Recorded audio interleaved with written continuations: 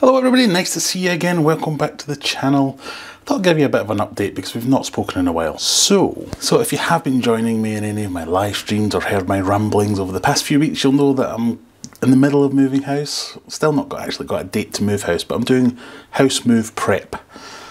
And for any of you aquarists out there, that's usually a bit of a headache and what we're going to do with the bleeding fish tanks. So, I've started my prep by trying to break down as many fish tanks as I can kind of downsize my fish room, downsize my fish hoarding abilities.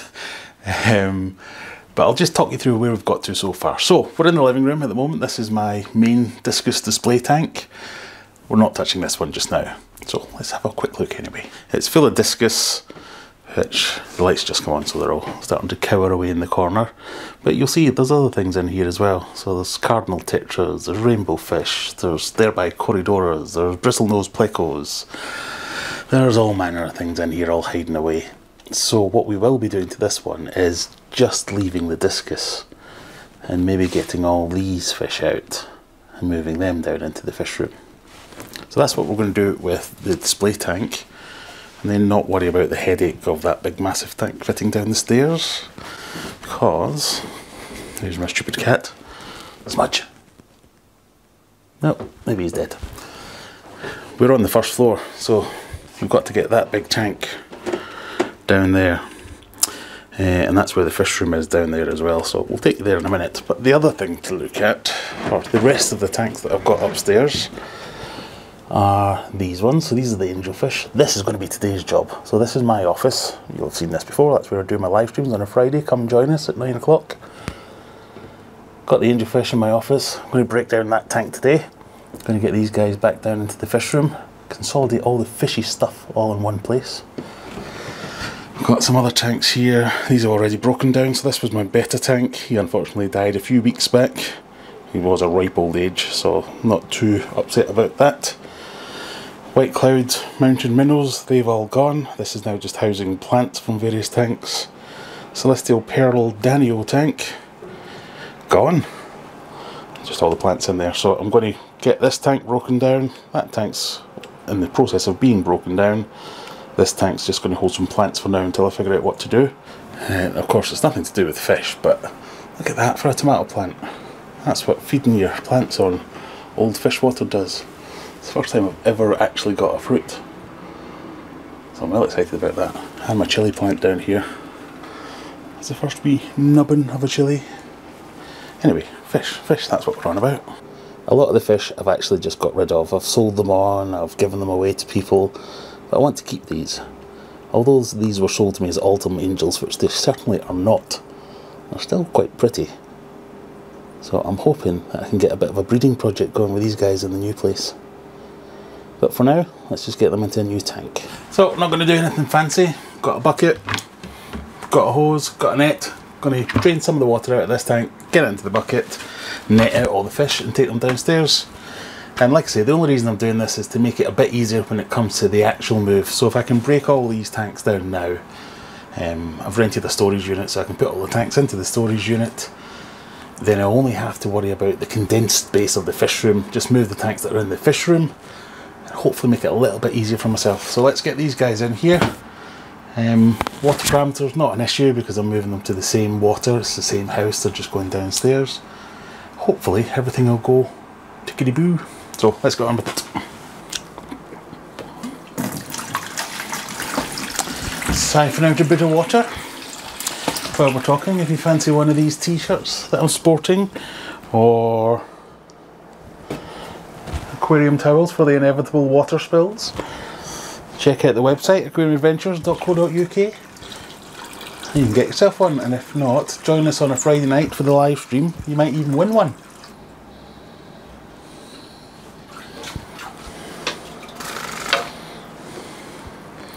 So the lovely fish, the lovely colourings. I don't know how well that's coming across on camera, but I'm really quite fond of these guys.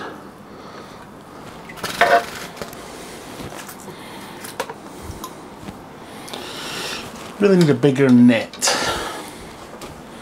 One momento.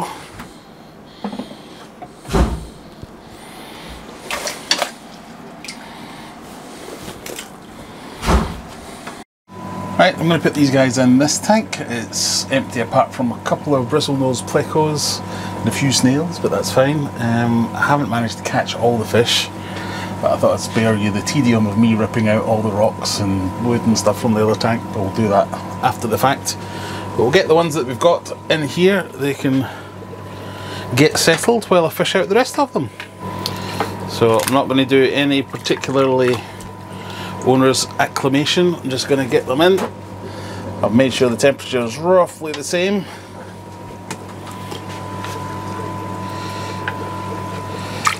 Isn't an ideal sized tank for these guys long term, but hopefully it's only for a month or so.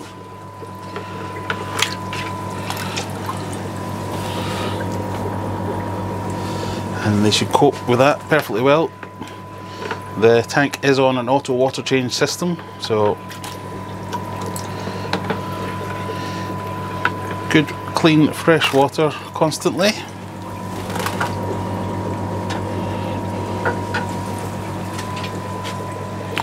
One more for now.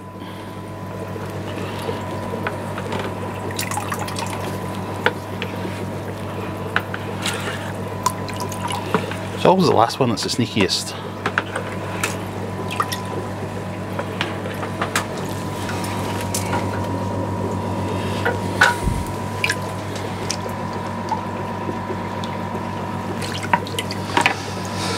So one, two, three, four, five, six. Just six. I've got another two upstairs, I think. Hiding away in the rocks. But that'll do for now. I'll show you the rest of the depleted fish room in a minute, but we'll just take a look at these guys as they start to settle in. I mean, they are quite plain angels, I think. Silvers, platinum, zebras. So many people call them so many different things. I don't think they're truly any of them, but I really like the silver colour along with the red that they're starting to develop at the top, or their kind of rusty colour even. Absolutely fantastic. So really active fish, that's why I liked having them up in my office because they would follow your finger around while you were playing with them. Um, and that's why I want to keep them and hopefully breed them. But for now, this is their temporary home. So as a bit of a mini fish room tour. We've got this tank here. It's just got the angels we've just moved down here. They feed on a mix of my bug flake and krill flake, my special sauce of mixed up leftovers. And they do really well on it. I also get a bit of frozen food and a bit of my soft Artemia food which is on offer at the moment if you want to buy some of that and you're watching this reasonably close after the videos come out if you use the code SOFTART you'll get 10% off. Uh, and double quick plug if you consider joining if you join as a hero member down there you also get 10% off anything on the website. So if you wanted to get the Artemia for instance you'd get 10% off with the code SOFTART but you'd also get another 10% off for being a hero member just click the links in the description, join us on Discord, let us know, and we'll tell you all about it. Back to the tour. So that tank, we've got the Angels. This tank was the temporary home for my Celestial Pearl Danios, but they've gone now to a, a new home. So nothing in there but some snails. And here we've got the Tiger Endler, well, it's kind of overflow tank if you like. But what I've noticed is that some of the fish in here don't look like tiger endlers, for instance, if you can focus on some of them. Some of them look a, a bit more like the blonde blush or the wild guppies. So I'm not sure if they're just not breeding true or we've had a bit of a escape and interlopers have got in there, which will ruin everything. Still, very pretty nonetheless. Down below we've got Humphrey in his tank which I've just been cleaning hence all the stuff there. He's been a bit of a knob and he's bust another heater. So then there's the heater graveyard. Humphrey does not like cylindrical things and keeps smashing them until they die. Uh, he's still my favourite fish though and absolutely love him. Need to get some titanium heaters. I keep saying that and then never actually doing it but I shall need to get some for him. Over here we've got my muck guppy tank and I don't know what to say I'm absolutely amazed at the state of some of these absolutely fantastic colours. Look at that white one for instance. That couldn't be more white. The platinum, platinumist of the platinumist. But all of these, the colours in these guys are ridiculous. So absolutely love that tank. Over here we've got, in my cobbled together, held together with hope and super glue, these are the wild guppies. And here we've got the Endler guppies, the blue star Endlers, and my kind of bristle nose colony breeding thing. Look at that coconut there. That's what happens if you leave a coconut in with some bristle nose plecos long enough. It'll chew right through it. Uh, but lots going on here. I have been blessed as well that I've got lots of lots of sales recently, so I've moved a lot of these guys on, which is kind of the idea. That's what I'm trying to do. So more blue stars here, more tiger endlers here. We've got the Steck endlers here that are all hiding because I've just done a water change in there. But lots of little babies of them, and then I don't think there's any left in there. The blonde blush. We've got one of my, in fact, my only betta fish now up here and these are more of the muck guppies. I've actually emptied all these tanks into the muck guppy tank there's just some fry that were left over in each of them that are now grown up so I'm just leaving them there while I've still got time. But I'm going to break all these down put them all into the muck guppies, put all these tanks into storage. Endlers I'm going to keep going. Bristle noses I'm going to keep going. Humphrey, muck guppies, angels. This tank I'm going to use for things like the neon, the cardinal tetras and all that kind of stuff from the main display tank. And then we should have everything but the discus down in the fish room. So I know that was a bit of a mishmash in terms of a tour.